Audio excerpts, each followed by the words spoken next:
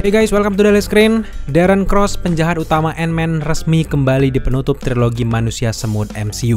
Darren Cross kembali bukan sebagai Yellow Jacket, tapi berubah menjadi salah satu penjahat utama Marvel Comics, siapa lagi kalau bukan MODOK. Menyegarkan ingatan kalian, Darren Cross muncul pertama kali di film Ant-Man yang pertama pada tahun 2015 sebagai anak didik dari Hank Pym yang akhirnya berkhianat menjadi villain dari rumus kuantum milik Hank Pym. Sejak saat itu, Hank Pym berusaha untuk menghentikan aksi jahat dari Darren Cross dan memilih Scott Lang sebagai pemakai suit Ant-Man miliknya. Di akhir film, Darren Cross sebagai Yellow Jacket harus bertarung hidup dan mati dengan Scott Lang sebagai Ant-Man MCU. Di akhir pertarungan, Yellow Jacket harus kalah dan tersedot ke alam kuantum setelah Ant-Man mengobrak-abrik kostum Yellow Jacket dengan bentuk mininya. Dari cara Darren Cross mengecil dan hancur, memang tidak ada harapan lagi ia bisa hidup kembali dan hadir di MCU. Tapi semua anggapan kita itu berubah sejak isu berkembang setelah dijalankannya Project Ant-Man ketiga. Berhembus rumor kalau Yellow Jacket ternyata masih hidup di alam kuantum. Sejak rumor itu berhembus, kita tidak pernah menyangkal karena memang masuk akal kalau karakter Darren Cross masih hidup di MCU. Kenapa kita cukup yakin? Karena Janet Van Dyne yang juga terjebak di alam kuantum ternyata bisa hidup kembali di Ant-Man yang kedua, bahkan dengan kekuatan baru yang ia dapatkan selama di alam kuantum. Jadi, sangat masuk akal kalau Darren Cross juga kembali ke MCU di film ketiga Ant-Man. Yang cukup mengejutkan adalah dia bukan kembali sebagai Yellow Jacket, melainkan menjadi karakter modok. Loh kok bisa? Sekarang mari kita breakdown dan berikan percikan teori terkait perubahan wujud dari Darren Cross di MCU saat ini. Di dalam komik, di balik batok kepala besar Modok ada mantan teknisi kelompok kriminal Advanced Idea Mechanic yang disebut dengan AIM bernama George Tarleton. George Tarleton dijadikan bahan uji coba oleh AIM yang berhubungan dengan Cosmic Cube yang akhirnya membuat kepalanya membesar lalu berubah menjadi sosok android yang memiliki kecerdasan tinggi. Sejak saat itulah namanya berubah menjadi Modok yang merupakan singkatan dari Mental Organism Designed Only for Computing. Karena Aim tidak memperlakukan George dengan baik, akhirnya ia membunuh semua petinggi Aim dan sejak saat itu Modok memimpin Aim dan berubah menjadi organisasi yang sangat mengerikan. Setelah ia berhasil menjadi pemimpin dari AIM, otomatis namanya pun berubah dari Modok yang ujungnya adalah C, kemudian diubahnya dengan huruf K yang artinya adalah Mental Organism Designed Only for Killing. Di versi live action, Modok memiliki asal-usul yang jauh berbeda dengan yang ada di dalam komiknya. Alih-alih lahir dari bumi, ia justru lahir dari alam kuantum. So sekarang pertanyaannya adalah, bagaimana Darren Cross bisa menjadi modok? Sama seperti kasus dari Janet Van Dyne, Yellow Jacket juga terkena radiasi di alam kuantum. Tapi yang menjadi perbedaan, Janet Van Dyne mampu memanfaatkan radiasi alam kuantum yang berbalik memberikan kekuatan kepadanya dan membuat ia tidak terlalu menua di sana. Berbanding terbalik dengan karakter Darren Cross, ia justru mengalami nasib sial yang membuat tubuhnya menjadi tak berbentuk dan membuat kepalanya membesar. Dugaan kuat kita mengapa keduanya memiliki nasib yang berbeda, sosok Janet Van Dyne terjebak ke alam kuantum secara alami atau tidak merusak kostumnya. Sehingga saat masuk ke alam kuantum, tubuhnya masih utuh berkat perlindungan kostumnya. Berbeda sekali dengan Yellow Jacket, ia terjebak ke alam kuantum setelah Scott Lang merusak kostumnya. Bahkan di akhir pertarungan, kita bisa lihat ketika Ant-Man menghancurkan semua komponen suit dari Yellow Jacket, kerusakan itu membuat suitnya meremukan seluruh tubuh Darren Cross. Lewat scene ini kita bisa lihat tangannya remuk lalu disusul tubuhnya yang ikut remuk juga, kemudian menghilang dengan percikan kecil yang tentu berdampak besar bagi Darren di alam kuantum. Di detik-detik akhir pertarungan, kita bisa lihat walaupun selamat, Darren Cross tidak lagi memiliki tubuh yang utuh. Satu-satunya yang bisa diselamatkan adalah bagian kepalanya saja. Berangkat dari scene inilah, kita punya teori ketika Darren Cross survive di alam kuantum, tentu membuat ia bertemu dengan orangnya Kang the Conqueror. Ketika dipertemukan dengan Kang the Conqueror, Darren Cross lalu meminta pertolongan dengan Kang. Sebagai imbalan, mereka akan bertukar informasi terkait timeline utama MCU, terutama yang di garis waktu Ant-Man.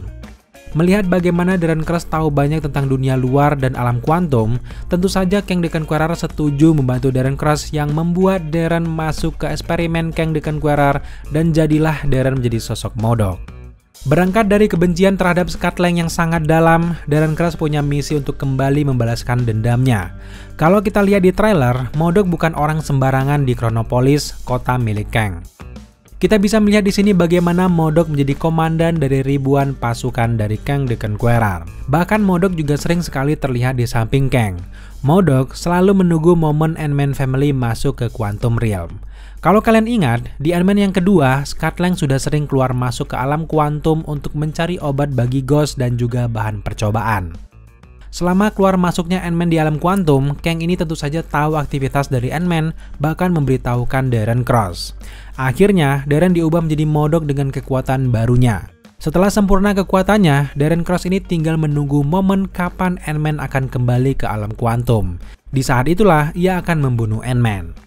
Nah, di Ant-Man and Wasp Quantum Mania, secara kebetulan Casey Lang tidak sengaja menyeret semua keluarganya ke Quantum Realm setelah menciptakan alat semacam satelit untuk Quantum Realm.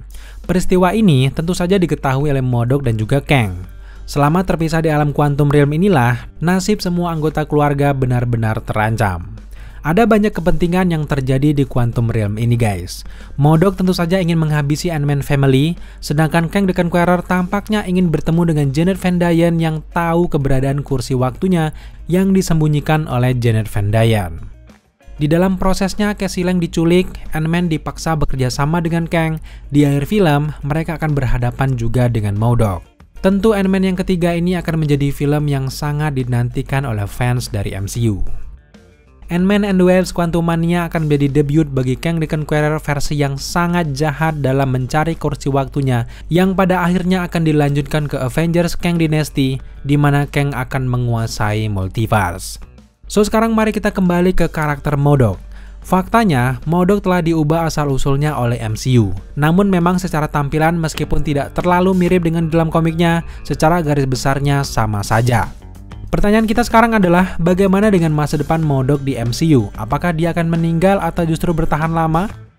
Berhubung karakter Kang the Conqueror adalah karakter terkuat saat ini dan Modok ada di sampingnya, maka jelas karakter Modok punya masa depan yang cukup menarik di MCU. Modok kalau di dalam komiknya bukanlah karakter yang setia dengan majikannya. Dia bisa saja berkhianat kapan saja jika langkah rekannya tidak sesuai dengan misinya. Termasuk juga Modok ke depannya bisa saja kabur dari Kang the Conqueror dan ada kemungkinan juga kalau Modok keluar ke dunia utama dengan tampilan seperti itu. Apalagi di dalam komiknya, Shield juga kewalahan dengan Modok, maka ada kemungkinan kalau Modok akan menjadi villain besar juga di timeline utama. Satu fakta menarik, karakter Modok ini terikat kuat dengan organisasi intelijensia versi buku komiknya. Nah, baru-baru ini, organisasi intelijensia ini juga sudah diperkenalkan di series She-Hulk. Bahkan, masih menjadi misteri jarum suntik besar yang diperlihatkan di series itu untuk siapa. Dengan diperlihatkannya plot hole seperti itu membuat kita sangat curiga, jangan-jangan MCU sedang mempersiapkan Modok untuk mengambil alih intelijensia dan menjadi pemimpin baru bagi intelijensia. Jika memang Modok berhasil keluar dari Quantum Realm, maka jelas ia akan menjadi ancaman besar ke depannya. Apalagi saat ini film-film yang levelnya level bumi membutuhkan sosok villain yang sekuat Modok. Jadi, kita sangat-sangat setuju kalau Modok kembali ke bumi menjadi ancaman yang bisa sangat merepotkan. Meskipun Darren Cross tidak secerdas Modok versi komiknya, namun dengan implan sibernetik yang ia dapatkan dari teknologi Kang, hal itu bisa membuat ia jauh lebih cerdas dari sebelumnya. Oke guys, itulah penjelasan kita terkait kenapa Yellow Jacket bisa berubah menjadi Modok di MCU. Jika kalian punya teori menarik tentang modok, silakan tambahkan di kolom komentar dan akan menjadi bahan diskusi menarik untuk kita nantinya. Thank you buat teman-teman sudah menyaksikan video ini sampai akhir. Jika kalian suka dengan teori dan juga pembahasan kita kali ini, jangan lupa dukung kita dengan cara subscribe, like, comment, dan share. Serta jangan lupa juga untuk nyalakan notifikasi agar kalian mengetahui apabila kita mengupload video setiap harinya. Thank you guys.